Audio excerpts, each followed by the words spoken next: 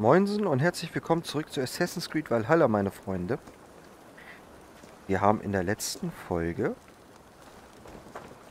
diese komische Trolle, Edwin oder wie sie hieß, platt gemacht. Die hat zwar ordentlich Wumms hinter ihrer Riesenlanze gehabt. Das ist etwas, was ein Mann auch sehr gerne hören würde. Aber im Gegensatz zu manchen Männern hatte sie definitiv Wumms in der Lam äh, Lanze. Krass auf jeden Fall. Ähm, ja, wir müssen jetzt mal zu Randvi zurück. Was rappelt denn das Bild hier so? Was ist denn hier los? Okay, no, geht wieder, hat sich gefangen. Ja. Scheint so, ja. Gut, dann würde ich sagen, ab zu Randvi müssen ihr Bericht erstatten. So, also, hier ist Randvi. Genau. Schnell dahin und mal schauen, was sie uns zu sagen hat. Ausrüstung verbessern. Ja. Bei Zeiten werden wir uns darum auch mal kümmern. Aber ich finde das immer sehr anstrengend, immer so die Ausrüstungen zu verbessern. Ich finde lieber bessere Ausrüstungen fertig. Ihr habt bestimmt gemerkt, wenn ihr das so verfolgt habt, dass ich da nicht so hinterher bin. Mal, ja, okay, aber nicht so krass. So, denn jetzt ab zu Randvi. Ach ja, genau. Wir haben... Was ich mich gerade frage, ich habe doch unseren Futterbeutel ein bisschen erweitert. Aber trotzdem kann ich nur zwei Stück. Also zwei Proviantdinger da voll machen, das war's da. Das ist ein wenig irritierend. Hey Randvi, wir sind zurück. Schön, dich zu sehen. Jo. Solange du mich nicht wieder anbaggerst, ist alles gut. Randvi, unsere Arbeit in Oxenaford ist getan. Doch der Preis war hoch. Das habe ich seit Ankunft des Briefes befürchtet. Er ist für dich von jemandem namens Fulke. Von Fulke? Götter, diese Tode. Er liegt dort auf dem Tisch. Oh, brauche ich nicht mal laufen. Das ist ein Service. Wie vom Volke an das Wolfsmal. Der Selbstgezeugte segne dich. Selbstgezeugte?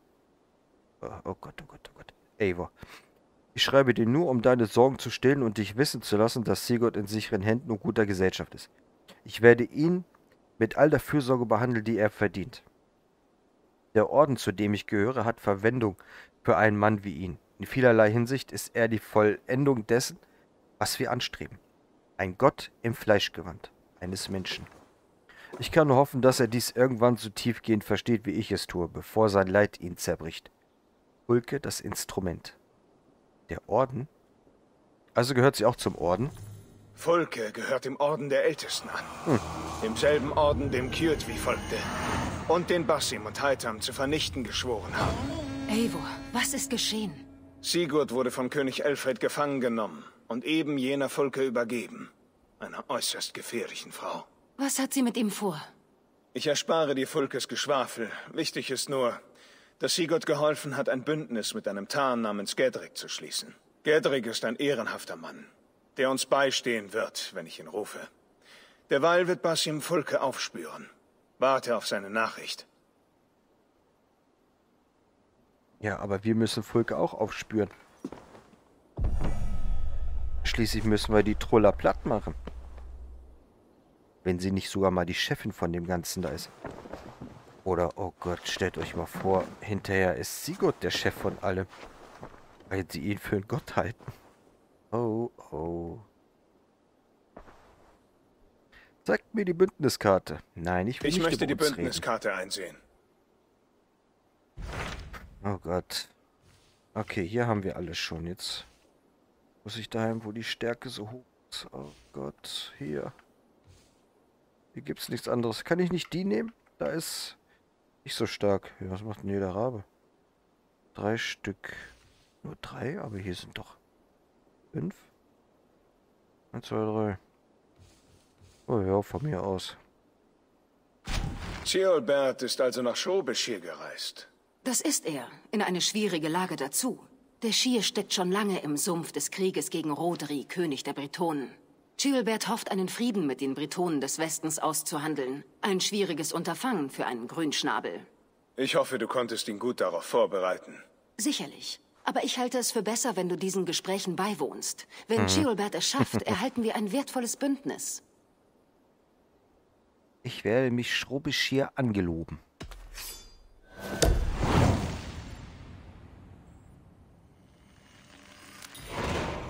Ich breche gleich nach Schrobeschir auf. Ich bin erleichtert. Er und Ivar sollten gerade in Quadford sein. Du findest es entlang des Säfern. Wenn Ivar bei ihm ist, werde ich dringend gebraucht. Dasselbe habe ich auch gerade gedacht. oh Gott, der Ivar. Naja, aber definitiv geht's wieder rund. Geh aus dem Weg. Was ist los hier? So, wie weit ist es? Oh, zu weit, um zu Fuß zu laufen. Hm, da steht wieder einer. Tot, tot, tot. Erledigt. Ja, gegen Wehrlose kann ich mich gut wehren. Aber den Rest, da habe ich Angst. Ich bin nämlich noch klein, wisst ihr. So, adiop. Und einmal die Führung übernehmen. Was? Abfahrt! Alle da? So, dann wollen wir mal schauen. Momentchen. Ich muss mal kurz gucken, wie stark bin ich denn überhaupt? Ähm, hier, Fertigkeiten. Oh, wir haben 10 Punkte. Wow, krass. Gut, dann schauen wir mal. Was haben wir hier? Meuchlerlist. Drücke nach einer erfolgreichen Parade schnell auf Y, um eine Rauchbombe vor dich zu werfen und zu verschwinden. Ah, das was für Weicheier. Gibt's hier Meuchlergrätsche, Rittender Schütze, Unbeseitigung. Halte RB gedrückt, um nach einem erfolgreichen Attentat die Leiche automatisch aufzuheben. Nee. Trage gerne Fleisch, aber kein faules. Ein Rabe plündert Ziele, die mit Fernangriffen getötet wurden. Oh, auch nicht schlecht. Meisterkoch. Hm, hm, hm. Das wollen wir nicht. Ach, das hatten wir schon? Notfall zielen. Halte RT gedrückt, um auf einen Gegner zu zielen, der dich entdeckt. So kannst du ihn töten und unentdeckt bleiben. Mhm. Oha. Gibt es denn hier auch nochmal irgendwelche... Ja, einfach nur einhändige Verteidigung. Nein, ich hätte gerne ein bisschen Stärke und Leben. Iduns Herz. Beschwöre die Lebenskraft von Idun. Stelle passiv kürzlich verlorene Gesundheit mit kurzer Verzögerung wieder her. Ach man, kommt schon, Leute. Gib mir Stärke. Gib mir Leben. Wolfskrieger. Kämpfe mit wachsender Wut, während sich der Tod nähert. Dein Schaden erhöht sich, je niedriger deine Gesundheit ist. Oh, oh. Ja, nicht schlecht. Was haben wir denn hier? Mächtiger Rundschlag. Ach. Ich pfeife auf den Kram. Er hat eine größere Chance, Pfeil vom Bogenschützen zu erbeuten. Wollen wir nicht. Ah. Nahrungssuche. Bei Leichen. Ah, das ist gut. Das, das ist gut, aber... Ähm... Kann ich hier einfach machen? Ja, okay. Hier kann ich einfach machen. Was war das? Um dich etwas zu heilen. Na gut. Ein bisschen. Aber das ist nicht das, was ich haben will. Absolut nicht. Auch nicht. Meuchel ist ganz und gar nicht. Ach, Mann. Bin ich denn jetzt komplett bescheuert? Finde ich denn hier nichts Gutes mehr? Huch, ein bisschen runter. Ah, hier haben wir doch etwas. Meine Güte. Na, endlich. Da ist auch noch was aufgegangen. Sehr schön. Jetzt haben wir hier kritischer Treffer. Okay. Oh, das sieht alles gut aus. Was haben wir hier? Großschwert zum Kurzschwert. Betäubung. Berserkerangriff. Zurücksetzen. Betäubung. Haben wir hier Feuer. Betäubung. Da kommen wir von dahin. Fähigkeitenschaden. Fernkampf. Ja, so, so sieht das gut aus. So möchte ich das gerne haben. Äh, Feuerwiderstand, Widerstand hier, Widerstand da. Betäubung. Oh, oh. Ja. Jetzt haben wir keine Dings mehr. 118. Na gut, müsste eigentlich passen, oder? So, jetzt hier nochmal gucken. Ah, ja, Runen. Ich könnte ja mal gucken, ob ich nochmal ein paar Runen einsetzen kann. Was haben wir denn hier? Achso, das sind diese ganzen Dingskarten. Den übersehen? Noch einen übersehen hier? Das leuchtet da oben ja immer noch. Ah, nee. Das ist bestimmt hier. Deswegen, ne? Wollen wir mal gucken. Können wir das ändern? Vergleichen RT. Äh, nein, das war nicht RT. Warum soll ich das dahin machen? Warum? Warum? Okay. Die ist aber auch viermal erhöht. Aber was ist das? Das Einhand oder Zweihand? Knochenbeißer, die sieht sehr groß aus. Das könnte eine Zweihand sein, oder? Schwere Schaden wird nach leichten Treffern erhöht. Die ist zu schlecht. Ah, da steht Zweihand. Ah ja, ist Zweihand, genau. 47, 48, Plünderer Axt. Bärenklaue. Hm. Ich würde das gerne mal verbessern. Oh. Mach doch. Okay. Und Runenplatz. Ich will mal eine Rune da reinschmeißen. Arins Axt.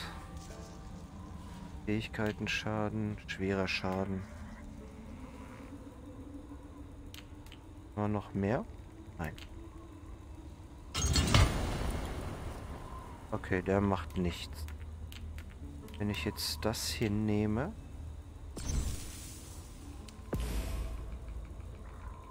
Ändert am Angriff nichts, ha? Nope. Und Warens Axt ist halt immer noch besser. Ja, dann bleiben wir bei der. Die bleibt ausgerüstet. Ja, ausrüsten. Hä? Ist das Warens Axt? Sieht die so aus? Bärenklaue? Die sieht aus wie die. Ne, Axt ist ausgerüstet. Ja, irgendwie... Ach so, leerer Runenplatz. Ja, da muss ich mir die Rune wiederholen. Ja. Einmal. So. Oder wäre... Skadis Zorn angebracht, ja. Der... Nee, da sind 3,2. Das ist nur 3. Gut, lassen wir so. Ich würde ja gerne mal wissen, ob wir das verbessern können. So, Quest. Was machen wir? Kriegsmüde. Ja. Ja, das machen wir. Alles gut. So. Attacke, meine Freunde. Stimmt etwas an? Ah. Ich muss mal...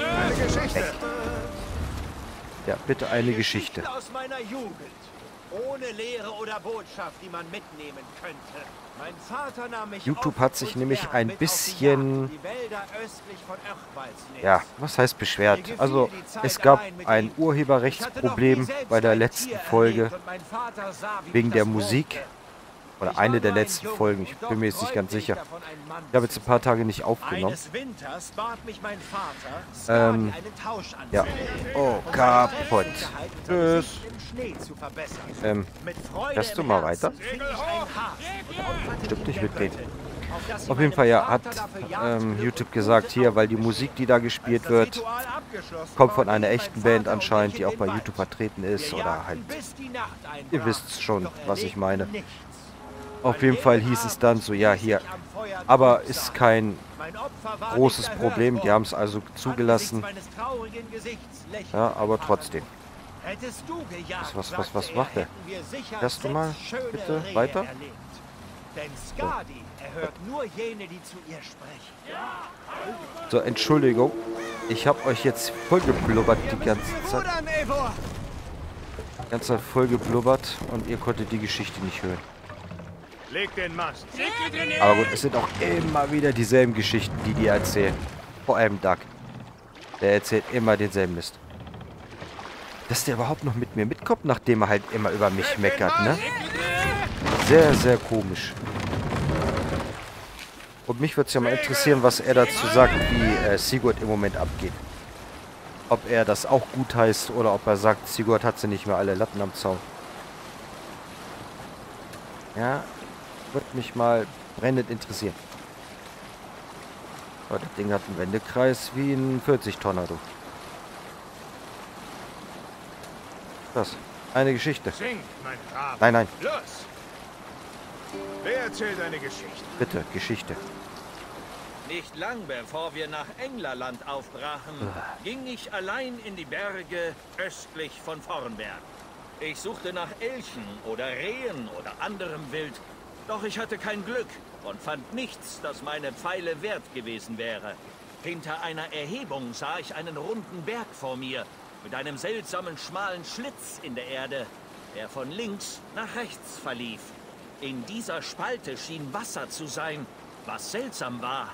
Schließlich verlief sie seitwärts. Als ich mich näherte, bebte der Boden und der Spalt zitterte. Dann öffnete er sich, so groß wie ein See und farbig umringt. Ich wich zurück, um alles in Augenschein zu nehmen und erkannte überrascht, was ich sah. Das Auge Jörmungans, der Weltenschlange. Ja, Sie schläft nahe Vornberg und segnet uns mit ihren Träumen. Ach, wenn wir jetzt dorthin zurückkehren könnten, würde ich es euch zeigen. Eines Tages vielleicht, eines Tages zeige ich euch den Ort.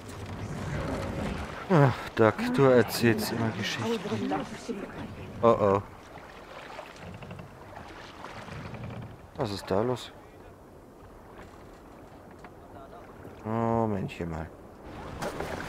Darum kümmere ich mich gerade mal. So. Was machen wir? Wisst ihr was? Wir machen gar nichts. Ich brauche euch Knellköpfe sowieso nicht. Ich flitze von hier aus. Ja, geht eh nicht weg, ne? Soll ich mal was probieren? Gucken, ob das klappt. Ähm, wo ist das Boot? Ah, zurzeit nicht verfügbar. Mist. ja, das hätte ich jetzt probiert. Ich hätte es geguckt, ob die gleich hier auftauchen. Warte, ich probiere das mal da hinten. Rennen, ey. Wo, was ist los? Was schläfst du? Er will nicht rennen. Stimmt nicht mit dem.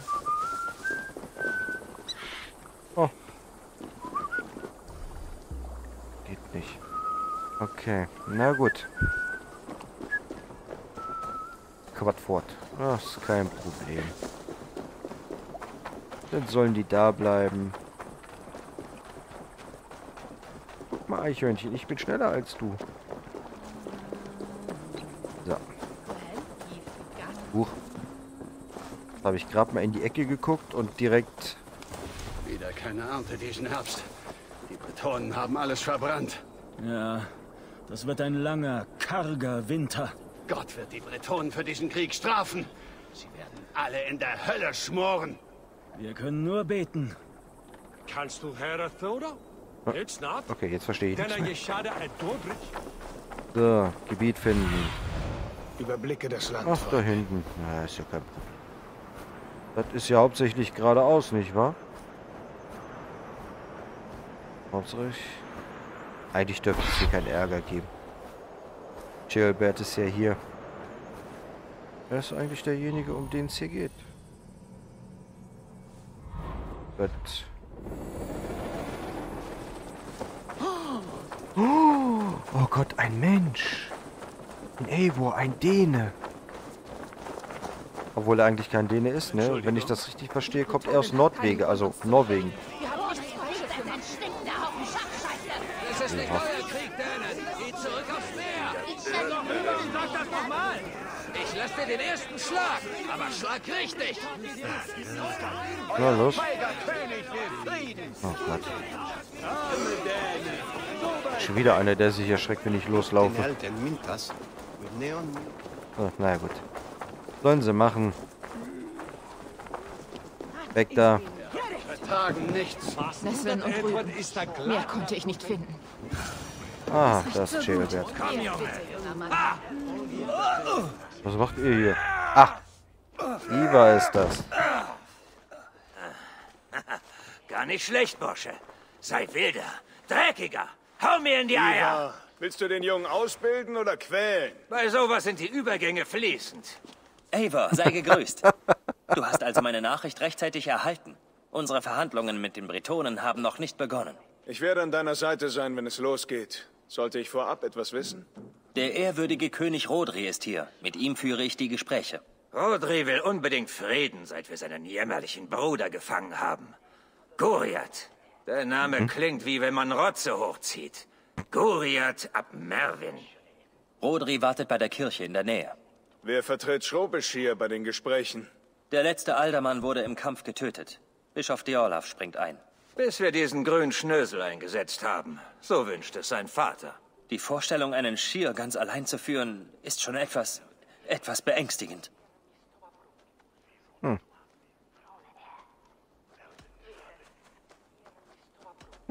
Iva wird dir schon Stärke beibringen. Aber pass gut auf. Er kann tückisch sein. Es ist immer dasselbe mit mir. Wenn es mir zu ruhig wird, werfe ich mit Messern. Ich werde auf der Hut sein. Als zukünftiger Aldermann solltest du bei den Gesprächen auch mitreden. Aber mit Demut. Rodri ist ein König und erwartet, als solcher behandelt zu werden. Rodri wird wollen, dass wir niederknien und den Rosenduft aus seinem Arsch schnuppern. Ich kenne den Mann. Ach ja? Wir haben gekämpft. Dieses Andenken ist von ihm. Wow. Vielleicht kann ich ihm eins zurückgeben, damit er weiß, warum er mich Königstöter nennt. Vielleicht solltest du dich zurückhalten, Iva. So führt man keine Friedensverhandlung. Ich hätte euch beide gern dabei. Als Stützen und um mich einzuschätzen. Dann gib uns dein Wort. Dein Schwert bleibt in der Scheide. Dass ich nicht lache, Eivor. Wir wissen beide, wie viel mein Wort wert ist. Aber ja, ich werde dir das Reden überlassen. Wahrscheinlich. Hervorragend. Nun denn, auf zur Kirche, oder? Unsere Gäste warten. Ja.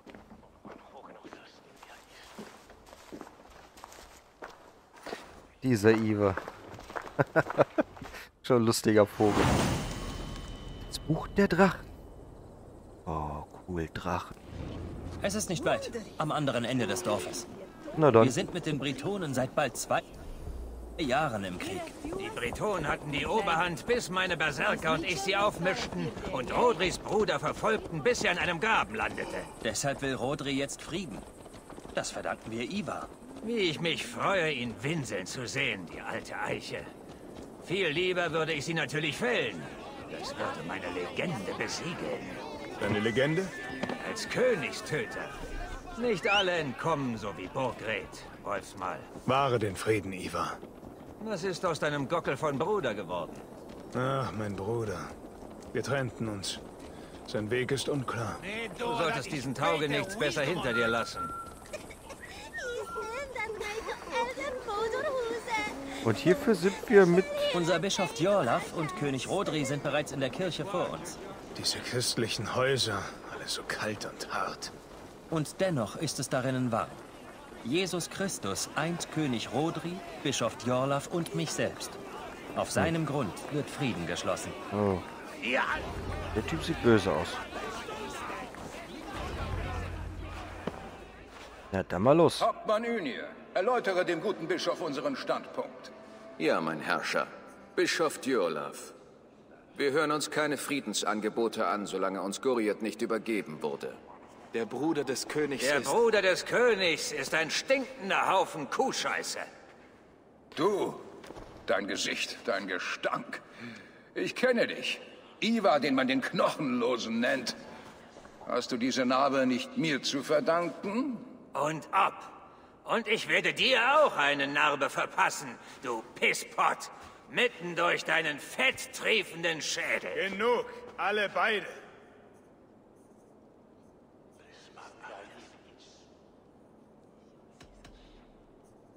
Legen wir das beiseite. Wir sind hier, um einen Weg zum Frieden zu ebnen. Frieden, Frieden, Frieden. Nicht mit diesem Kübel Bretonenschmalz. Darin sind wir uns einig. Oh. Na, na, beruhigt euch doch. Zeigt etwas guten Willen. Ihr kennt meine Forderung. Solange mein Bruder Guriat nicht frei ist, kann es keinen Frieden geben. Der soll froh sein, dass er noch lebt. Er ist beim Wegrennen in die eigene Klinge gefallen. Bald helfe ich dir, in deine zu fallen. Rodri, bewahre einen kühlen Kopf. Es ist zu unser allerbestem, Frieden zu schließen. Erst mein Bruder. Erst dein Kopf auf einem Spieß. Dann lass ich den Wicht laufen. Rodri, nein! Es reicht. Dies ist ein Haus Gottes. Geben wir uns kurz Zeit, um uns wieder zu sammeln, ja? Eivor, zu mir. Ich kenne dich nicht gut. Aber Ceolbert hält dich für einen besonnenen Kopf. Genau das brauchen wir jetzt. Es könnte zu spät sein. Die Kriegskrähen sammeln sich schon. Ich habe eine große Menge Silber. Rede mit den Leuten hier. Wenn Silber jemanden überzeugen kann, Frieden zu wollen, dann biete es ihm an. Ob das so das Richtige ist. Äh, gut, mit Schädelbert brauche ich nicht quatschen. Iva. Ist Iva da vorne? Du verschwendest Zeit. Ach, mach die Backe Eva, dicht. Die Türen verrammeln, das verschwitzte Schwein aufschlitzen und gut ist. Könnte ich dich mit Silber besänftigen, während wir nach Frieden suchen? Frieden. Glaubst du wirklich, dass es dazu kommt? Ich hab dir gesagt, ich kenne diesen Arschling. Würde Silber dich beruhigen? Vielleicht, vielleicht auch nicht. Ich müsste das Silber in meiner Hand spüren, um das zu wissen. Wow. Verflucht, sagst du. Hier ist das Silber. Tu damit, was du willst, aber verdirb uns die Aussicht auf Frieden nicht. Ich wusste nicht, wie schlecht du mit Geld umgehen kannst. Silber, gut. Jetzt könnte ich Rodri mit Silber totprügeln, so schwer ist dieser Sack. Ähm, äh, Ich er war erzähle das. Bischof Diorlaf, was ich herausgefunden habe. Eivor, mein denn? Freund. Ich habe mich umgehört, wie du wolltest. Hast du eine Entscheidung getroffen? Wem hast du das Silber gegeben? Ich habe Iva das Silber gegeben. Dafür versprach er, Ruhe zu bewahren. Ich habe Iva noch nie ruhig gesehen. Rodri, ich sehe, wie du mich verhöhnst. Ich fordere dich Iva, zum Zweikampf. Iva der Knochenlose, der Rückgratlose, der Zahnlose, Mutlose. Du kannst mich nicht töten. Ich sterbe durch einen Drachen, wie die Seher es weissagten. Und dein Bruder? Schützt dein Schicksal ihn auch? Guriat! Beim Allmächtigen ich... Bringt ihn in Sicherheit. Los, schnell. Tötet den Knochenlosen! Tränkt diese Kirche mit seinem Blut! Iva, was hast du getan? Gleich fließt Blut. Dein Tod wird. Was hast du getan? Aua. Aua. Ah, dieser Typ schon wieder. Au, aua. Ich kämpfe, das würde ich. Oh.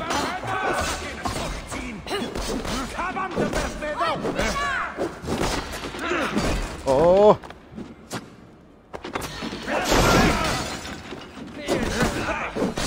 Okay, der ist schon mal erledigt. Der ist weg. Oh. Oh. Das war böse. Da ist ja noch einer. Da.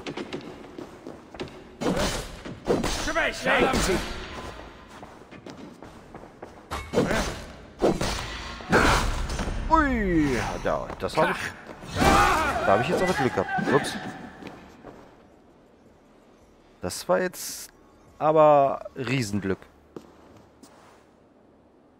Ah, so verhandeln Wikinger. Den Schweinen zeigen, wer die wahren Krieger sind. Ivar, du hast den Frieden zunichte gemacht. Lass dich nicht vom Frieden täuschen, Bursche. Das ist nur die kurze Stille zwischen zwei Axthieben. Mein Gott, was für ein Massaker. Wir haben keine Wahl. Wir müssen uns den Weg freikämpfen. Ah, ein guter Test für dich, Junge. Herr, vergib uns. Bleib bei mir, Ceolbert. Deck mir den Rücken und ich ziehe die Messer aus deinem. Gütiger Gott. Bleib Ja. hier, wo es sicher ist, Bischof. Hilf Ah. mir mit der beschissenen Tür. Ja, ich helfe dir in der nächsten Folge. Jetzt hast du mich erstmal ziemlich abgefuckt, Junge. Deswegen wünsche ich euch alles Gute, meine Freunde. Genießt alles, was ihr habt. Und schaltet auch in der nächsten Folge wieder ein. Dann helfen wir Iva bei der Tür. Und ich hoffe, irgendwann kann ich ihm mal ordentlich auf die Fresse hauen. Für das, was er macht. Ich wünsche euch was. Macht's gut.